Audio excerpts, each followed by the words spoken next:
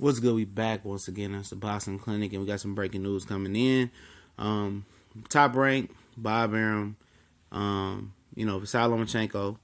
Um, sounds like they're agreeing upon a weight class move uh, sometime in 2018.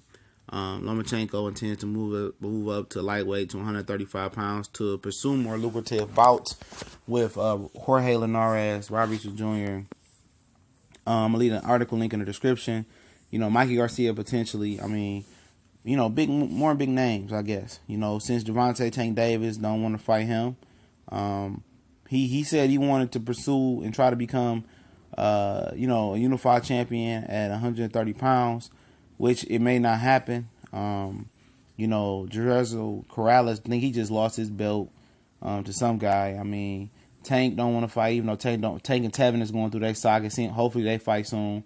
Um, you know, him, and Tevin, and, and Lomachenko was good friends, so I don't know if they're gonna fight. They sparred a lot together. Um, that'd be an amazing fight to watch because because Te- Tevin is so slick, and um, Lomachenko is is awkward, unorthodox. But um, you know, he wants to set his sight on more lucrative bouts, and it's definitely more money at 135. Um, you know, it, it, depends on what Mikey Garcia does. I mean, that's the fight that he probably wants to target. Um, Garcia don't think Top Rank wants to work with him to make that fight.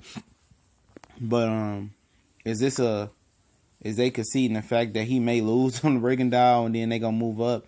Um, I don't know, but um, be a good plan. I mean, some good interesting fights. Jorge Linares, I mean Easter, um, you know Mikey, um, some nice little fights for Lomachenko. You know, some fights that we we would enjoy.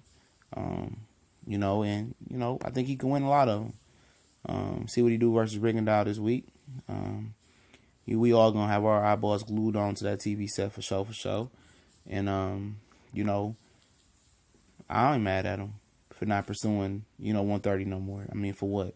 There ain't no names there. I mean, Miguel Berch. I mean, you know, I guess they gonna do the Salido fight and then get the get the hell up out of there. He probably fight three times next year, so they might do a Salido fight, get out there.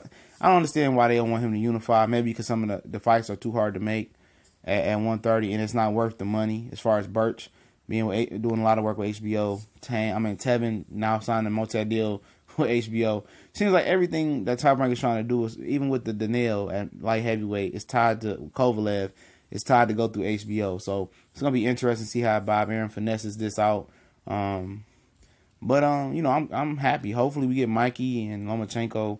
Uh, that'd be a nice little fight, especially coming off the off a, a potential Rigondeaux win and a potential Salido win, and then you know building that Mikey Garcia. But it's interesting to see what Mikey Garcia gonna do. They saying Omar Figueroa. A lot of y'all saying, oh, if it's at forty, it's not gonna be at forty seven.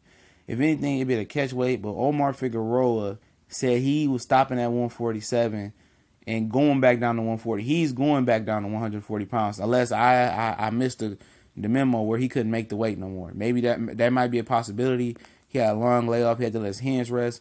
But I'm on, from what I understand, and my sources say that fight is if it happens, it's gonna be at 140. And um, Figueroa said he was going back down to 140, and uh, Diaz, his trainer, said he was going back down to 140. So that fight gonna be at 140. Um, so we'll see what happens in the grand scheme of things. But uh, it's a boxing clinic. We gone.